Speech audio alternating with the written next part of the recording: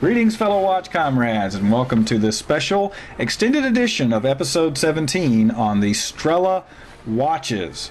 I'm Craig Hester, the Watch Comrade, and as always, we appreciate you joining us. The images you're looking at here are of Alexei Leonov, the first human to ever walk in space. And as many of you are already aware of, he was wearing at the time a Poljot Strela 3017 chronograph built in the first Moscow watch factory. Uh, the watch that's on the spindle there is actually, and here you're seeing it, is actually a newer version that was built in the mid 2000s that we've now got available in new old stock, built by the Volmax company. Now, it is not strictly speaking a Volmax watch, it was simply produced by Volmax at the first Moscow watch factory. We have four versions of this watch now available, three will be featured in this video. Um, that we've picked up since we did the first episode on the Strela chronographs. This one here is very similar to the earliest versions of the Strela, which were simpler, almost more like dress watches, and then they got progressively more militaristic and more sporty going forward. The one you're looking at on the left is the one, as I was mentioning, from the mid 2000s. The one on the right is the most recent edition built by Volmax under the Sturmanskie brand. So it is a Volmax watch. That is a 44 millimeter, and you're seeing it compared to the 40 millimeter of the new old stock versions that we now have available. Here is a new feature we're using here where we're showing on the actual caliper um, the size of the watch 44 millimeters on the new Strela and 40 millimeters on the new old stock. Here's a couple of wrist shots. You can see that this is, first of all, there's no superluminova on this watch. Um, this is, in a lot of ways, a more dressy feel and look to it. Um, very clean, uh, simple lines, um, reflective of the earliest Strelas. Now, we also have a watch that is extremely similar to the watch worn by Gubarev uh, into space in the 1970s. It is the black version. Now, you'll notice throughout that wherever you see the term Sekonda on the original version, it has been replaced with Strela in the new old stock version or the new version in the Latin. Um, that is because Sekonda is actually still an ongoing watch brand, albeit not a Russian watch brand. So it has been replaced in the Latin with Strela so as not to have any trademark infringement. Strela, which means arrow in Russian, and here you're comparing the original, the one on the left, is this, is the original Sekonda. Um, that was worn very similar to the one worn by Gubarev.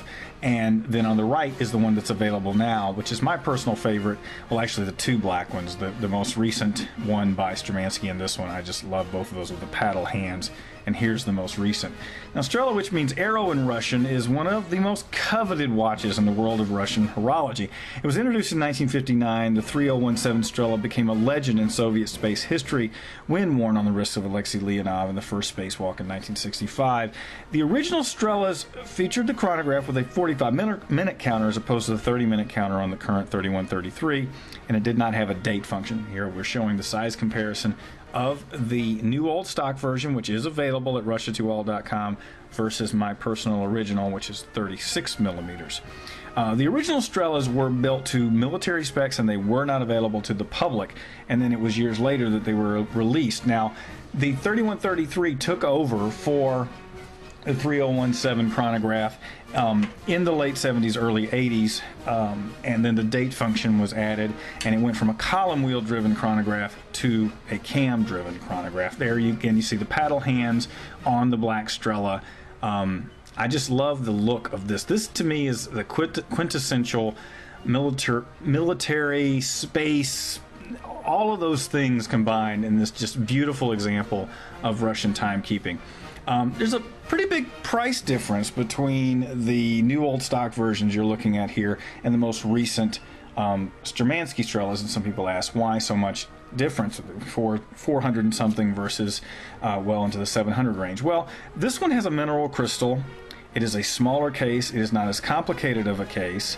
Uh, the movement isn't decorated, as opposed to the newer models, which are larger, 44 millimeter cases. They, there's a quick shot of the loom. Um, it is so difficult to shoot loom for those of you who have ever tried to do this. Um, it the, the, newest versions have sapphire crystal front and back. They are larger. They have more. Uh, they have highly decorated movements and so forth. This also comes in a white version if you want a more stark dial. Um, and you it's the same look basically it's exactly the same watch as the black just comes with a white dial. So you still get that historical look and feel but if you prefer a white dial over the black. Again my personal favorite is the black. It's whatever you happen to, to prefer. Here it is on a wrist shot both the white and the black. Um, just giving you a feel of how it looks on the wrist. This is about a 40 millimeter watch so this is not a real big oversized watch like is popular today. So if you want something that's going to be a little more understated and not quite screaming off your wrist like some of the more recent ones, these new old stock versions are a really good way to go. Um, and I like the way they, they feel because they wear on the wrist easily. It's a very simple case. I don't know what it is. I was talking to some a customer today, uh, a collector today, about these watches, and there's just something about the Strela case and the Strela dials that really just does it for me. It, it, it creates such an amazingly cool look. I think it's that whole retro, yet it still looks technologically advanced and more modern. Here again, you're seeing Alexei Leonov in more footage from the time that he went into space in 1965. You might find it interesting to know, too, that he commanded the Apollo Soyuz mission in the 70s, uh, the first joint U.S. Um, Soviet mission to ever be in space. And um, this is just some footage of the Soyuz um, of, of the rocket taking off and uh, Lexi's uh, history in space. Um, obviously superimposed with images of the Strela watches. That's the beige Strela, which has by far been the most popular, actually, even though I, I love the black, that beige has been hugely popular. I think because it is so reminiscent of the early versions of the Strela. And there it is side by side with the more silverish dial of the new old stock uh, mid 2000s version. Both have exhibition case back though, um, and they both are very true to the original dials and case design of the original Strelas from the 60s and 70s. And the other one, I think coming up, you're going to see a little bit more of the black version as well. So we have four versions. One's not featured here of the new old stock Strelas that Volmax produced. Um, that are available at russia2all.com, along with the beige and black and two other more dressy versions. Um, so there's a number of Strelas available to suit almost any taste right now at russia2all.com, with, as I understand it, even some new versions coming out in the next few months. So hope you enjoyed this additional segment on the Volmax, Poljot, Russian, First Moscow Watch Factory, Strelas, and I'm Craig Hester, the Watch Comrade, and as always, keep watching.